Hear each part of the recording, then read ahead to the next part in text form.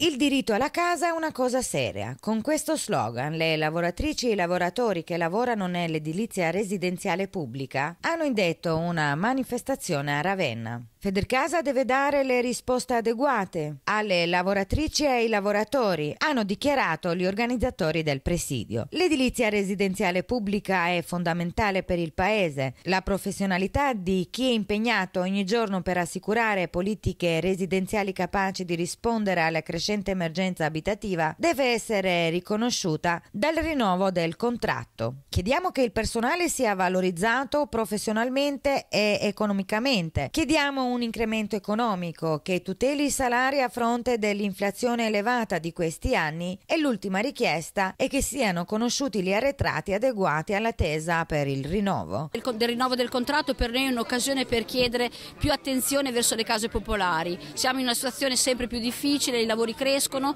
noi rimaniamo il personale che c'è, offriamo sempre più servizi e le esigenze aumentano. Vabbè, adesso a parte il discorso che è stata anche l'alluvione, il fortunale, quindi abbiamo gestito le persone persone in difficoltà, eh, posizionato, trovato alloggi per le persone che anche del privato erano in difficoltà dal punto di vista dell'abitazione.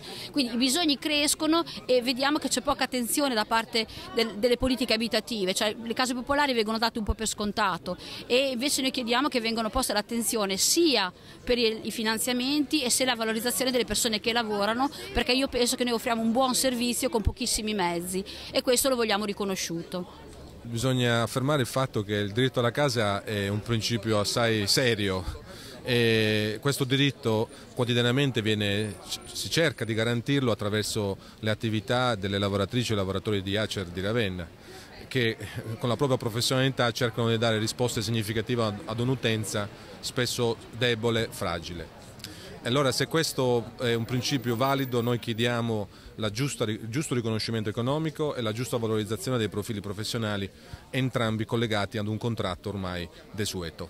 Cosa che abbiamo più a cuore è un impegno maggiore da parte della politica eh, su quello che è l'emergenza casa, quindi oltre al rinnovo del contratto nazionale di lavoro con eh, una parte economica che copra perlomeno l'inflazione che c'è stata pesantemente in questi anni.